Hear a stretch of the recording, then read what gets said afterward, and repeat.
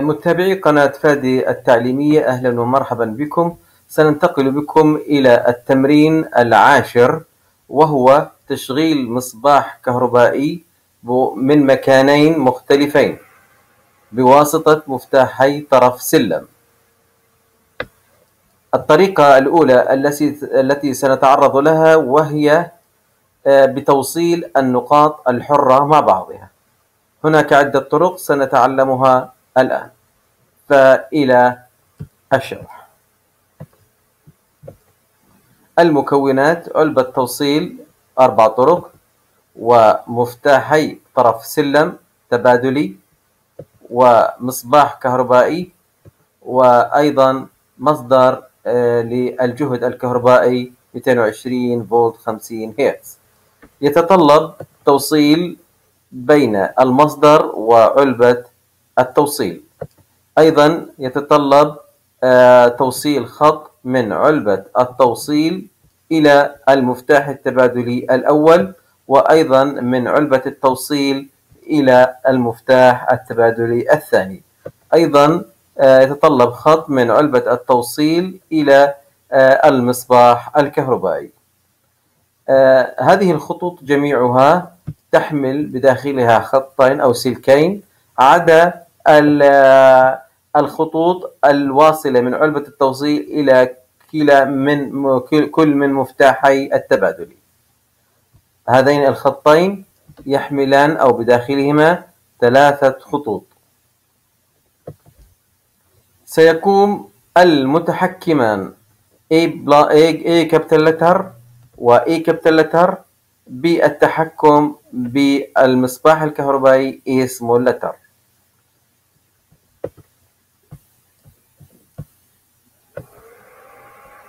إلى الشرح التفصيلي المكونات علبة التوصيل ومفتاح طرف سلم ومفتاح طرف سلم آخر ومصباح كهربائي ومصدر للجهد 220 فولت 50 هرتز.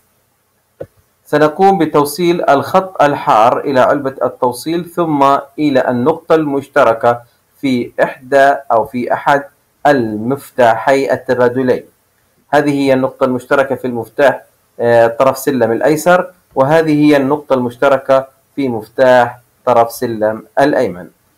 إذا نحن آه، في آه، في خيار إما أن نضع الخط الحار على النقطة المشتركة على المفتاح اللي في اليسار أو على النقطة المشتركة في المفتاح اليمين. وفي العادة تكون يعني يختار آه، المكان الأقرب. الآن سنقوم بتوصيل آه، النقاط الحرة في كلا المفتاحين مع بعضهما البعض. آه، التوصيل البعدية اللي هي النقطة المشتركة في مفتاح طرف سلم الجهة اليمنى إلى المصباح مباشرة. سنقوم بتوصيل الخط البارد إلى المصباح.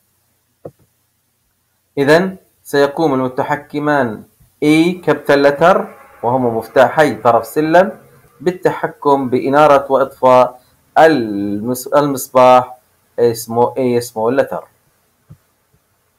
وشكرا. بسم الله الرحمن الرحيم. راح نشرح اليوم إن شاء الله توصيلة عملية وهي تشغيل مصباح كهربائي من مكانين. تستخدم هذه التوصيلة في الممرات الطويلة عند بداية الممر وعند نهايته أو بين الأدراج في العمارات. فنبدأ. فرضا كبسنا المفتاح على اليسار راح تشتغل المصباح وبنقدر نطفيه من المكان الثاني. لو نظرنا إلى المفاتيح من الجهة الأخرى نلاحظ أن لكل مفتاح ثلاثة نقاط. نقطة في الأسفل مشتركة تتم التبديل بين النقطتين آه، في الأعلى. نسمي هاتين النقطتين النقاط الحرة. الآن متصل مع النقطة الحرة في الخط الأزرق. نتبع التيار يدخل من خلال المفتاح إلى الخط الأزرق في الأعلى متجها إلى المفتاح الآخر لكنه ينقطع في هذه النقطة. هذين الخطين يتم التبديل بينهما لنقل التيار. فلو فرضا حولنا المفتاح الثاني نلاحظ أن الدائرة اكتملت والمصباح اشتغل لأنه متصل في الخط البارد. الآن نبدأ بتبديل المفتاحين إلى الوضع الآخر ليتم سريان التيار عبر الخط الأسود عبر المفتاح إلى الخط الأحمر. ثم ينتقل إلى المفتاح الآخر متجها إلى المصباح فيضيء المصباح لأنه متصل بالخط البارد. نتمنى أن يكون هذا الشرح. قد نال إعجابكم والسلام عليكم ورحمة الله.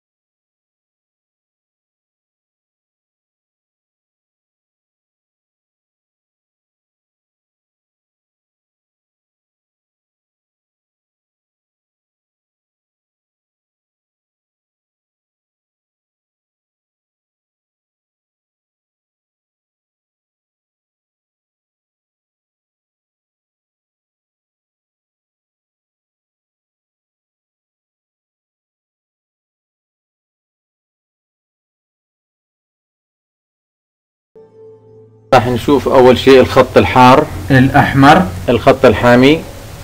اللي بيحمل التيار. راح نوصله للمفتاح مباشرة. لا أحد من المفاتيح الطرف سلم. وعادة بنحطه في النقطة المشتركة بالمفتاح.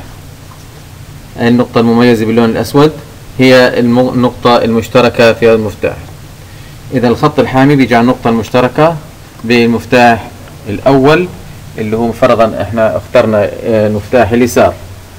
لكن النقطة المشتركة في المفتاح الثاني واللي مميزة باللون الأسود أيضا راح ناخذها على راجع اللمبة. إذا هذا الأسود راح يروح إلى راجع اللمبة. يستمر في طريقه هون. خلينا بدون بدون بدون ما نقطع إلى راجع المصباح الكهربائي. بظل عندنا النقاط الحرة الموجودة في كلا المفتاحين. كل مفتاح بيحتوي على نقطتين حرات نقطتين هاي باللون الأصفر مميزات. هذا النقاط الحرة الثنتين بنوصلهم مع بعض. إذا النقاط الحرة خطين باللون الأصفر بيمشن داخل علبة الوصل بيستمروا في طريقهم. إلى النقطتين الحرات في المفتاح الآخر في الجهة اليمنى. لاحظ كيف إحنا وصلنا النقاط الحرة مع بعضها في كلا مفتاحي آه، طرف سلم أو الدرج. فقط بقي علينا أن نوصل الخط البارد. الأزرق. الخط البارد إلى المفتاح. إذا الخط الأزرق هو الخط البارد الذي لا يحمل التيار الكهربائي وإنما هو خط متعادل. سيصل إلى المصباح الكهربائي فتكتمل الدائرة. الآن لو جربنا الدائرة خلينا ناضي من جهة من الجهة اليمين. آضة اللمبة أو المصباح. خلينا ناضي من الجهة الشمال نطفي من الجهة الشمال وبنقدر كمان ناضي من الجهة الشمال. خلينا نجرب الدائرة. الآن لو نقدر ناضيها نطفيها من هون وبنقدر ناضي ونطفي من هذا المكان. هذا هو مصدر التيار الكهربائي المتغير. عند النقر على أحد طرفي المفتاح. فإن التيار يسري بهذا الاتجاه مع الخط الأخضر. عند النقر مرة ثانية على الطرف الآخر من المفتاح فإنه يعمل إيقاف للتيار الكهربائي.